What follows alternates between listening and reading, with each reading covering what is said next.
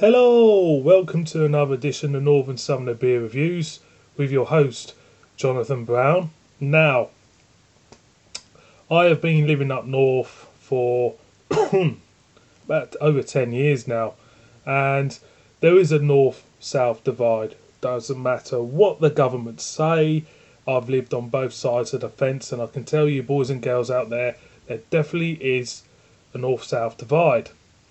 Now, the beer I've got now has got a north south divide about it as well because I know loads of people like it in the south, but in the north, I don't know anybody who likes it. I don't know whether or not it's to do with it's to do with London or or whatever, but there's no one likes it in the north apart from me. I think I must be the only one.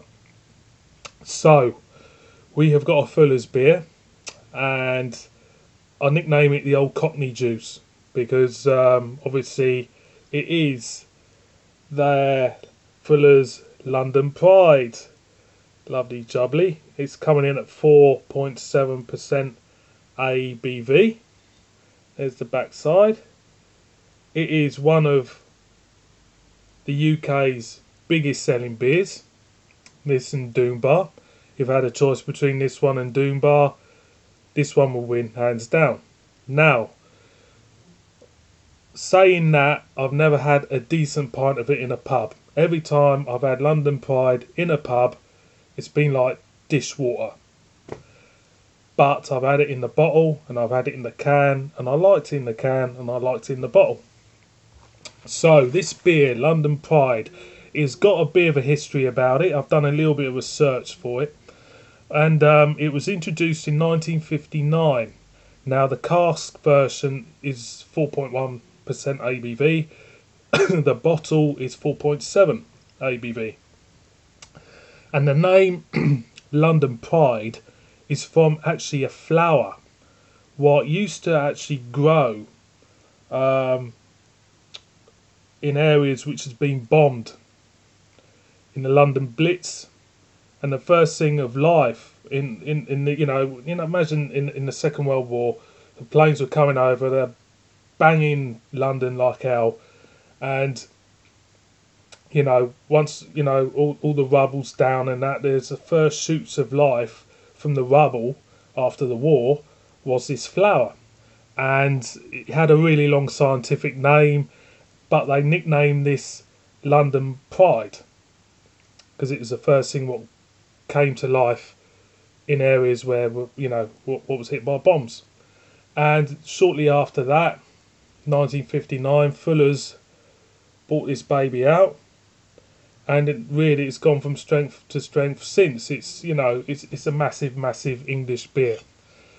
So this beer has got three hops in. It's got Target, uh, Challenger, and Northdown varieties. I think Fuller's use Northdown variety of hops in a lot of their beers. I think they do it in I do it for the ESB. Not too sure, but I'm a big fan of Fuller's. They are a great, great brewer, and um, I think this north-south divide over this beer is purely down to I don't know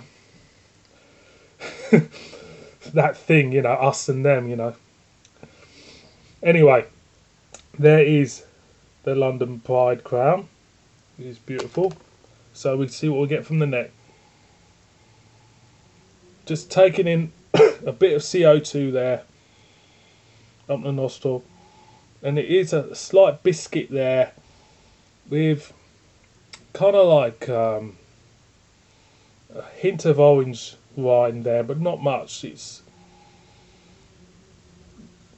slight biscuity note there from the neck. Not much going on about it. So let's pour out.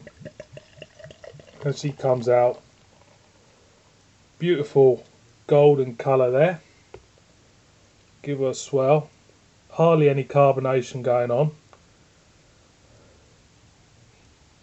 Lovely toffee, orange toffee biscuity note there coming from that. It smells really, really nice, really inviting. Um, maybe reminds me hobnob biscuits definitely kind of hop hobnob biscuits coming from it. So let's top her up. You know, like Newcastle Brown Ale and stuff, it must be some sort of regional thing why people don't like this beer up north, but I do. So cheers.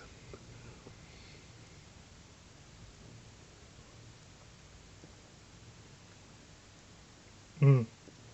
that beer is a lot better from bottle. I think it is. First, I'm getting, you're getting the maltness, you're getting an orange skin, like um, orange skin. Then you're getting a, a little bit of a biscuit backbone there with a hint of caramel thrown in as well.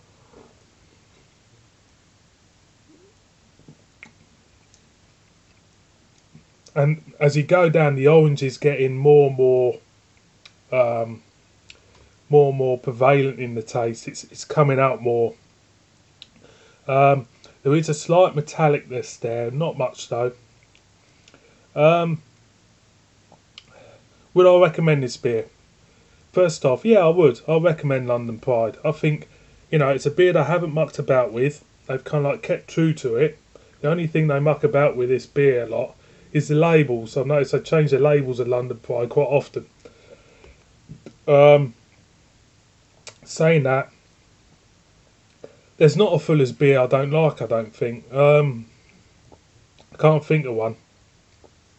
Um, I'll be doing Honeydew soon. I think that might be the weakest one of theirs, but um, it's a it's a great beer. It really is, and um, it's just a shame that you know it's not universally liked by everybody, and you know, you either like it or you don't. And for me, Fuller's London Pride is a great beer. So I'm going to go in for one more time. It's lovely. Orange is coming more and more through. So I'm leaving it on a great note. London Pride. If you haven't had it, give it a go. It's not as bad as what people say. Cask, mm, not too not too sure on the cask version of it. So thanks for watching this review. Please subscribe, murder me in the comments, and I'll see you again soon. Cheers.